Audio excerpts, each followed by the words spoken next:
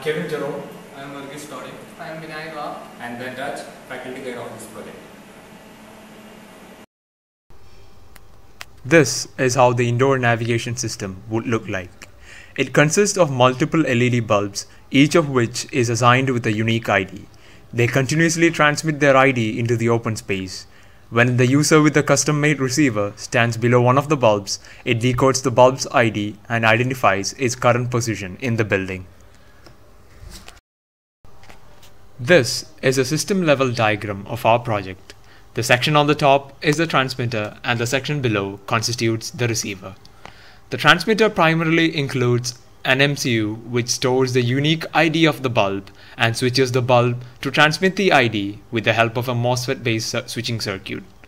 The receiver consists of an ambient light sensor followed by a signal conditioning circuit which gives a digital output corresponding to the received light pulses.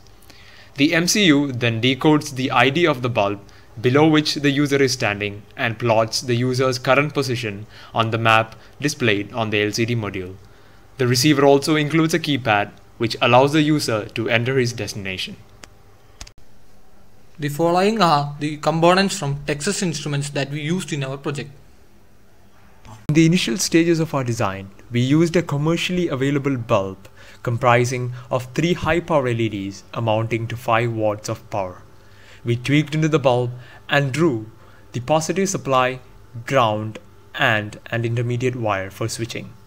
As for the switching of the bulb to transmit its ID, we made an embeddable switching circuit as shown. The design of the circuit would be explained at a later point of time in the video. Although we were able to switch the commercial bulb to transmit data, due to the fact that they are costly and that we required multiple transmitters for the demonstration, we decided to make our own bulbs. For making our own bulbs, we designed the PCB layout and printed the circuit using toner transfer method. We then soldered 10 1 watt LEDs in series onto the board. Once the bulb was done, we went on to design the switching circuit for the same and later on fabricated the printed circuit board.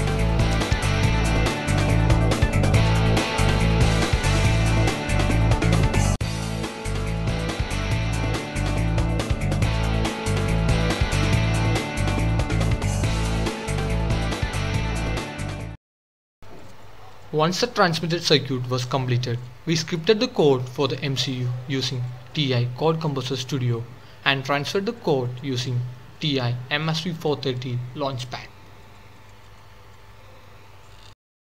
With the microcontroller loaded into the switching circuit, the next step was to complete the wiring between the switching circuit and the LED bulbs.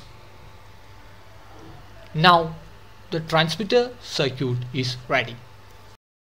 The transmitter is powered using a 35 volt DC supply and the 3.3 volts required for the microcontroller is obtained using a low dropout regulator UA78M33. The microcontroller is connected to the MOSFET CSD18503. The P1.0 of the MSP430 G2101 is connected to the gate of the MOSFET. The ID of the transmitter, which is 0xB1 here, is sent from P1.0 to the MOSFET bit by bit at a rate of 2 kilobits per second. The drain of the MOSFET is then connected to the negative of the 10 series LEDs at the back and the positive of the 35 volt DC power supply is connected to the positive of the LEDs.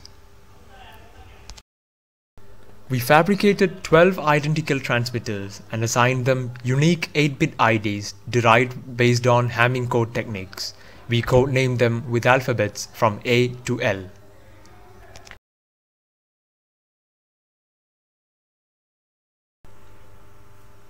Our next task was to design a receiver which would help in the navigation process by using the ID of the bulb under which the user stands. The receiver consists of an ambient light sensor, the TEMT 6000. The signal from this ambient light sensor is passed through a first order high pass filter, which is then fed into an instrumentation amplifier. The instrumentation amplifier that we used was the INA 129 from Texas Instruments. Which it amplifies the very feeble signal and then sends it through another first order high pass filter and then to a comparator. The comparator used here was the TLV3701. It then converts the analog signal into a digital signal which is then passed through an op-amp based half wave rectifier. The microcontrollers are powered using a UA78M33 low dropout regulator and the microcontrollers used here are MSP430G2553. The first microcontroller is used to interface the keypad and also accepts signal from the signal conditioning circuit. The second microcontroller is used to control the graphic LCD. And we have also included a reset button to reset both the microcontrollers. And the receiver is powered using two 9 volt batteries. In order to demonstrate the indoor navigation system in real world, we installed the 12 VLC bulbs in our lab at the same height as the existing light bulbs, forming a 3x4 matrix. The arrangement of the bulbs is as shown. We conducted a trial by having a user come into the room and use a receiver to navigate to a destination of his choice. The user entered the destination as D. The user is currently located under the LED name J. Based on the ID received from the LED bulb above the user, the receiver module displays the shortest path to the destination. As the user moves forward and advances each LED bulb above him, the receiver updates the path to the destination from the user's current position.